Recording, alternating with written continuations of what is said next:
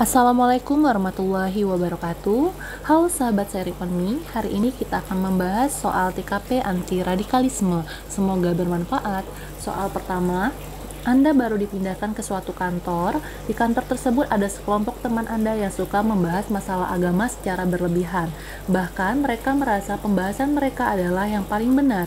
Gerakan mereka juga mencurigakan dan kurang bersosialisasi dengan teman-teman kantor lainnya. Hal ini membuat teman-teman Anda yang lain cemas bahwa mereka adalah kelompok berbau radikalisme sehingga banyak teman-teman Anda menjauhi kelompok itu. Suatu hari, salah satu teman Anda dari kelompok tersebut mengajak Anda untuk mengikuti kegiatan mereka. Sikap Anda sebagai anak baru di kantor tersebut adalah A. Langsung berkata tidak, ikut menjauh seperti teman-teman Anda yang lain. B. Melapor kepada atasan Anda bahwa tindakan sekelompok teman Anda tersebut mencurigakan. C. Menasehati teman Anda tersebut bahwa pemahaman mereka terhadap agama secara berlebihan itu tidak baik. D. Menerima tawarannya karena Anda anak baru harus mampu beradaptasi dengan lingkungan. E. Mencoba bersikap biasa saja, mengkonfirmasi kegiatan yang akan dilakukan apa. Baik sebelum kita jawab, kita telah dulu soalnya teman-teman. Seperti materi yang telah dijelaskan di video sebelumnya tentang uh, radikalisme, di sini ada tanda-tanda ya teman-teman masalah agama secara berlebihan, merasa yang paling benar, gerakan mereka juga mencurigakan dan kurang bersosialisasi. Ini memang ada tanda-tanda berbau radikalisme. Nah, cuma di sini soalnya kita adalah anak baru ya teman-teman. Anak baru, kemudian sikap kita yang diminta. Nah, itu jawaban yang paling benar itu poin limanya ada di jawaban E. Mencoba bersikap biasa saja mengkonfirmasi kegiatan yang akan dilakukan apa. Nah, mengapa seperti itu teman-teman? Karena seperti yang video sebelumnya, bahwa untuk di komunitas kalau kita mendengar ada desas-desus radikalisme yang harus kita lakukan pertama sekali adalah sosialisasi. Nah, di sosialisasi ini ada apa saja? Ada pendekatan, ada pengakraban, ada diskusi.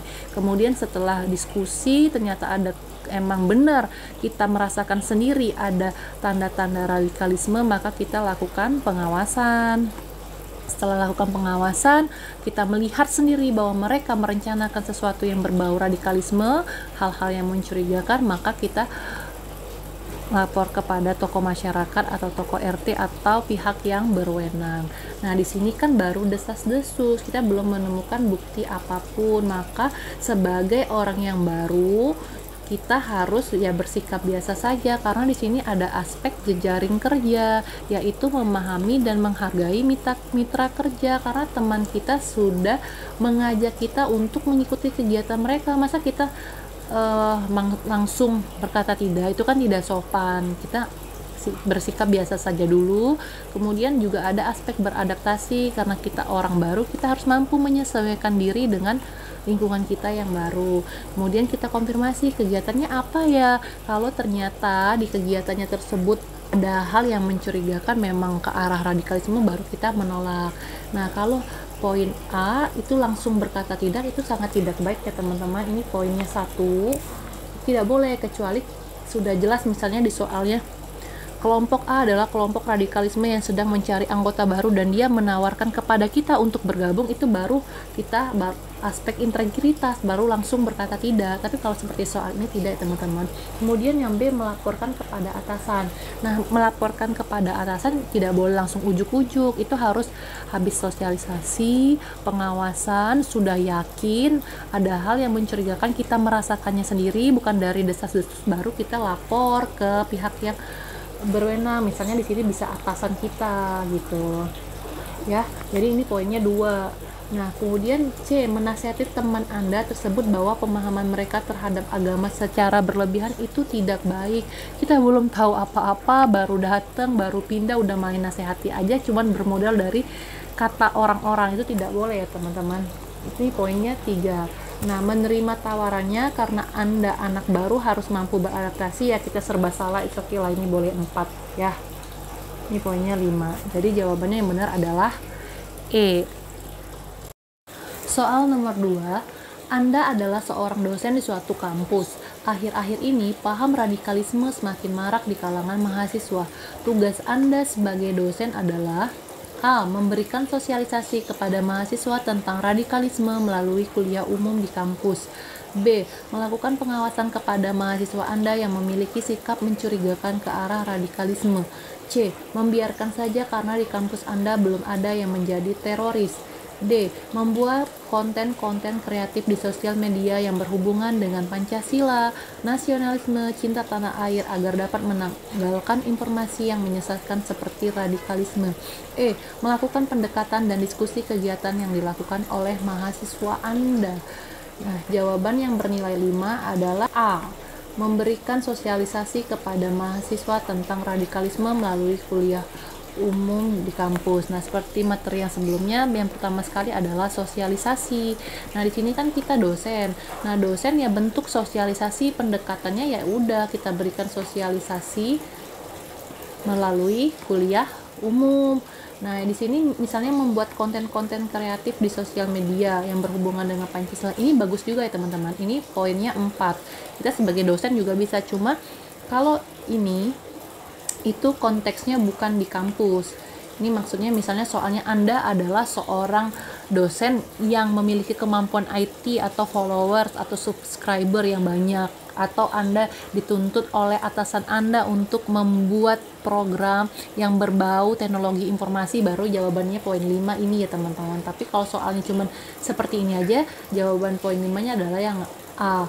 Kemudian untuk yang B melakukan pengawasan kepada mahasiswa Anda yang memiliki sikap mencurigakan. Di sini kan belum ada di soal ceritanya belum ada apakah dia mencurigakan atau tidak.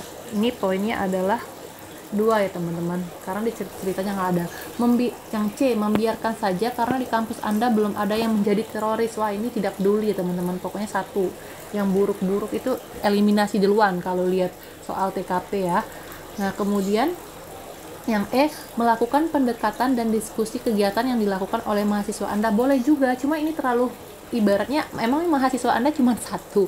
Kita harus diskusi kegiatan mereka satu-satu kan nggak tidak mungkin kecuali kita sudah ada mencurigai uh, sekelompok orang. Nah, baru kita ajak pendekatan dan diskusi. Tapi kalau masih seperti ini hanya untuk mencegah, ya pertama sekali adalah sosialisasi.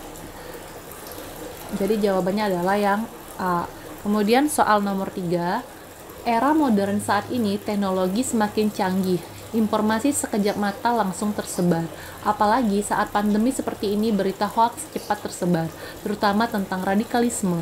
Anda adalah seorang ASN dan seorang YouTuber terkenal yang sering membahas skincare dan tidak mengerti tentang radikalisme.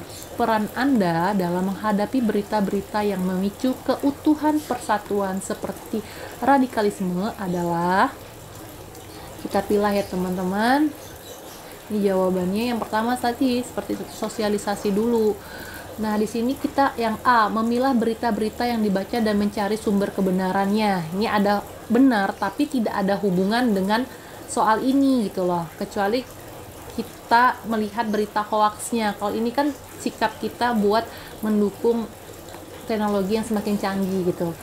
Yang B tetap membahas skincare karena itu kemampuan saya. Ini poinnya satu ya teman-teman. Karena ini kesannya tidak peduli pokoknya kalau TKP yang tidak peduli tidak peduli itu poinnya satu kemudian C. Langsung membuat konten tentang radikalisme karena itu hak dan tanggung jawab saya dalam membela negara. Bisa benar ya teman-teman.